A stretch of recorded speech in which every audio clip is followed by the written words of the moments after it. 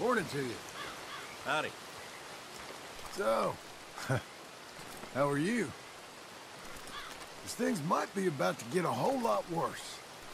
Hey, there's no need to be rude. Fun as it is seeing you vexed, I was only joshing you. You sure are odd. You know who you're dealing with? Why are you doing this? I'm sorry. Again. Well, okay then. I ain't no pushover, that's for sure. Can you leave me alone? This time I'm really done. You're real dumb, you know that?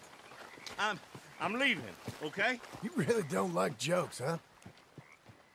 You know, you're really oh, annoying on. me. Get the hell away from me! Just another joke, come on!